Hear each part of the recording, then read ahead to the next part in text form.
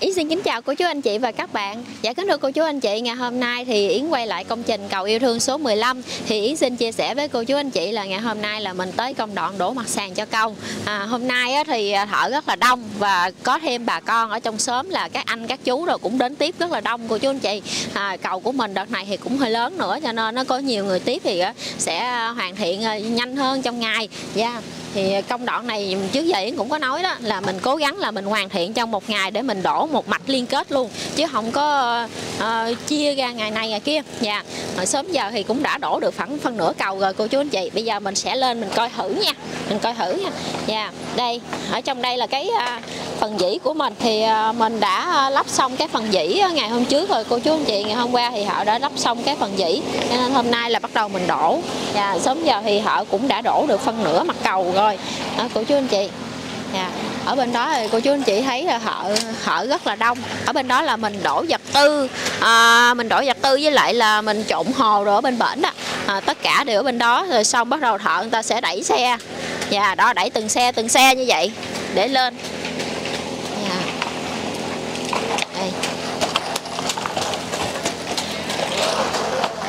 Ở đây thì người ta ờ, bắt đầu đẩy lên đẩy lên như vậy để mình đổ nè cô chú anh chị.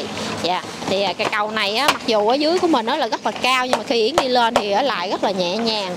À, tại vì ở đây á, mình có cái độ dài á cô chú anh chị độ dài cũng thoải mái cho nên nó lên rất là nhẹ.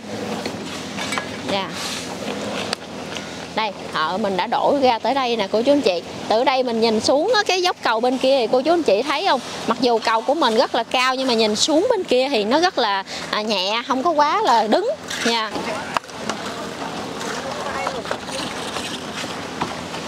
Ở đây thì chủ yếu là cần người là phụ để trộn hồ với lại à, đổ với kéo vật tư. Nha còn cái à, chú mà chán thì chỉ có một chú thôi là như vậy là đủ rồi cô chú anh chị. Một chú chán thôi là được rồi đó. Nha à, hôm nay thì rất là đông à, thợ cùng với à, các à, chú các anh đổ trong sớm tiếp. Cho nên nó yến nghĩ là hôm nay là mình sẽ hoàn thành sớm nha hoàn thành sớm cái cầu này. Và chứ không có quá lâu đâu. Ở đây thì mình ở hai bên cầu thì mình đã lắp sẵn ờ, phần sắt. Mình chừa phần sắt sẵn để mình làm lan can rồi cô chú anh chị. Với cái phần đó là phần đà của mình. Và yeah, mình làm ờ, ờ, uh, dách để mình làm đà ở phía dưới nữa. Yeah. Rồi bây giờ mình cán ra. Mình cán ra để mình uh, cho nó đều. Nha yeah cô chú anh chị nhìn thấy bên dốc cầu bên kia mình đổ đó, khi mà làm thì đi xuống tới dưới đó thì nó rất là nhẹ luôn, không có quá cứng à, không có quá đứng để ờ, cho mình. Ờ, cái cầu này thì do là cái chiều dài cầu rất là dài cho nên rất là thoải mái trong cái phần đó, cô chú anh chị. Nhưng mà từ đây mình nhìn xuống dưới sông nè, ở trên đây mình nhìn xuống dưới sông thì cô chú anh chị thấy rất là cao, đúng không? Dạ rất là cao và nước hiện tại cũng là đang nước thấp nữa. Dạ cho nên nó là rất là cao, nhưng mà cái dốc của mình thì xuống lại cực kỳ nhẹ nha Dạ bây giờ Yến sẽ đi xuống dưới để uh, cho mấy anh làm Cô chú anh chị đứng đây thì cản trở quá.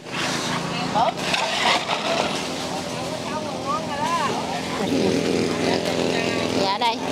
Mấy đầu qua bên đây thì uh, họ người ta trộn hồ ở đây cô chú anh chị ở đây mình đổ vật tư với trộn là đổ ở bên đây. Cô chú anh chị thấy là rất là đông. Thợ ở trong đây là có thợ và có thêm ờ, các chú ờ, các anh ở trong xóm đồ tiếp nữa. Dạ. Yeah. ở đây mình trộn.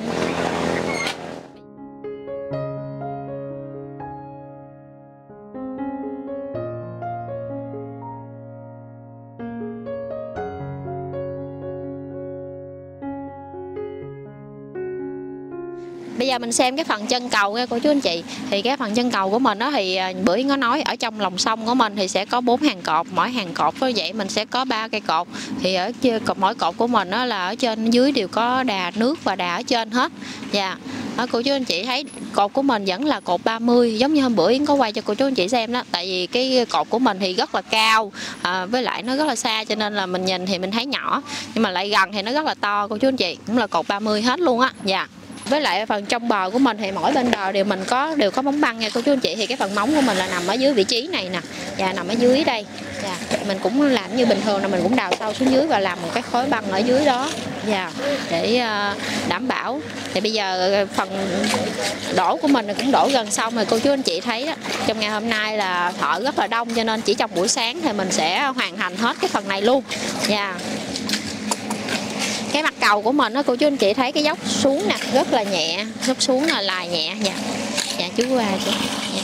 À, cô chú anh chị thấy không? Mặc dù là cầu của mình khi mà đứng ở dưới nhìn lên thì thấy rất là cao nhưng mà khi mà mình à, coi cái dốc thì rất là nhẹ tại vì cầu của mình nó làm cái chiều dài ra nó thoải mái á cô chú anh chị. Dạ, cho nên là à, cái à, lên xuống rất là dễ ở trong đây thì bình thường bà con người ta cũng chở nặng rất là nhiều để qua lại. Cho nên cái dốc cầu này xuống như vậy thì dễ cho bà con lắm. Và cái phần mặt cầu cũng vậy. Thì khi mà mình làm mình cũng không có làm nó quá là phẳng. Mình cũng làm nó hơi nhám một chút để khi mà à, bà con qua lại nó cũng có cái độ bám chân. Đặc biệt vô những cái ngày mà trời mưa. Dạ. Nha yeah. cô chú anh chị thấy à, hồ mình đổ rất là dày. Nha, hồ mình đổ rất là dày cho cái mặt cầu của mình. Dạ, để đảm bảo ở trong phần này mình cũng như thường lệ cũng trộn bê tông rồi cát, đá, xi măng như vậy đó cô chú anh chị. Dạ. Nha này ở đây là cái ờ, phần này là cái phần lan can mình chừa sẵn để mà mình ờ, làm cái phần lan can lên. Ở trong đây mình còn một cái đà nữa nha cô chú anh chị, mình còn đổ thêm một cái đà ở bên trong này nữa. Nha yeah thì ờ, cái ờ, đường của mình ở bên đây là cái lỗ đan nè cho nên nó là chủ yếu là mình ờ, đổ vật tư đổ ở bên đây. À, cái chỗ mà hôm bình thường miếng quay á, là ở bên cái đầu cầu bên kia. Nha yeah. thì à, về cái phần mà sửa cầu á cô chú anh chị thì bữa, bữa nay là mình vẫn chưa có sửa được. Tại vì xong cái phần đổ mặt sàn này thì thợ bắt đầu là sẽ à, cho sửa cầu luôn. Thì tới khi mà xong á, thì mình sẽ bàn giao một lượt. Một là cả cái phần mà sửa cầu sửa cái dốc cầu hai dốc cầu của bên cầu kế bên trên và phần cầu này luôn thì mình sẽ bàn giao cùng một lúc. Thì hiện tại thì cũng chưa có biết chắc là mình có thể là bàn giao kịp là trước Tết hay không. Nhưng mà chắc chắn là bà con sẽ qua lại được uh, trước Tết. Tại vì bữa nay mình đổ á bữa nay mình đổ xong thì uh, khoảng vài ngày nữa là bắt đầu khô rồi. Khô thì bắt đầu là bà con có thể uh, kể cả chạy xe qua lại được luôn cô chú anh chị. Tại cái này á, khi mà mình trộn mình có đổ thêm CK vô thì cho nên nó là trong cái quá trình làm thì xi măng chết rất là nhanh và rất là nhanh à, rất là cứng nữa. Cho nên là chỉ trong vài ngày là bà con người ta có thể chạy xe được luôn rồi à, để đảm bảo luôn không có bị bể. Yeah. Dạ. Kính thưa cô chú anh chị, ngày hôm nay thì mình đã hoàn thành làm cái công đoạn là đổ mặt sàn cho cầu yêu thương số 15. Thì sau công đoạn ngày hôm nay á, thì bắt đầu là mình sẽ à, làm à, đợi khô thì mình làm lan can rồi làm thêm những cái phần ở trên à, xanh sủa lại nữa.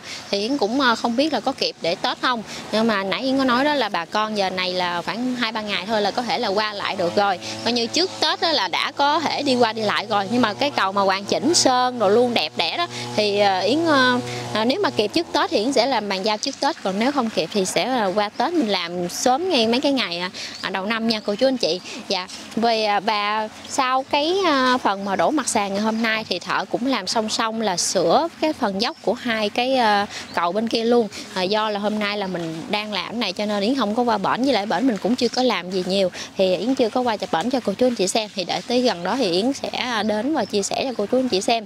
Thì em bữa yến có nói đó là cái phần dốc của hai bên cầu á, là mình cũng làm giống như là hai cái cầu mini mini vậy đó cô chú anh chị. À, tại vì cái phần sắt cũ của cây cầu cũ người ta chừa ra ít quá cho nên là mình không có nối tiếp được rất là khó cho cái phần đó cho nên mình phải làm giống như hai cái cầu mini hai bên luôn. À, để cho người ta lên xuống thì nó nó vững hơn. Nha yeah.